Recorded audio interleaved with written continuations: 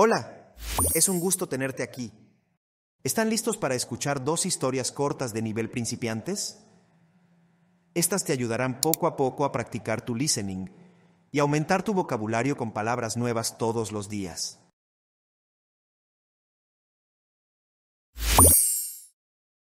Empecemos con el vocabulario nuevo. Busy. Busy. Ocupado, Collar. Collar. collar, Noticed. Noticed.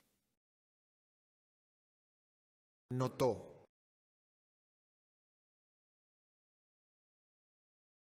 Relieved. Relieved. aliviado,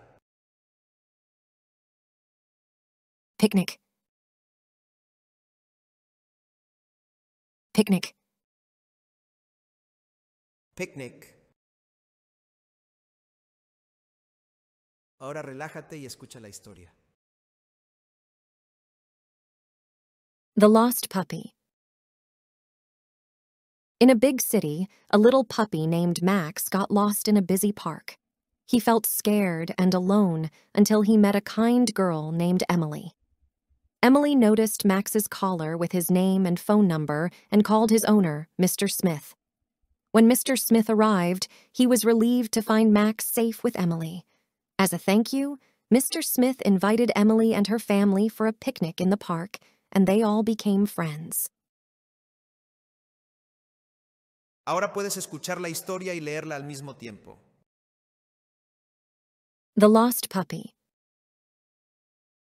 In a big city, a little puppy named Max got lost in a busy park. He felt scared and alone until he met a kind girl named Emily. Emily noticed Max's collar with his name and phone number and called his owner, Mr. Smith. When Mr. Smith arrived, he was relieved to find Max safe with Emily.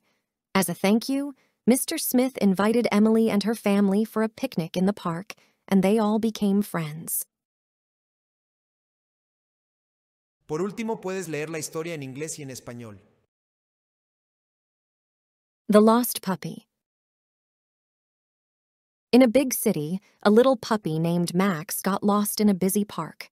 He felt scared and alone until he met a kind girl named Emily. Emily noticed Max's collar with his name and phone number and called his owner, Mr. Smith. When Mr. Smith arrived, he was relieved to find Max safe with Emily. As a thank you, Mr. Smith invited Emily and her family for a picnic in the park, and they all became friends. Espero te ayuden a educar tu oído. Puedes pausarlas y repetirlas hasta poder comprender más las lecturas. No olvides suscribirte al canal para seguir practicando. Nos vemos en el siguiente video.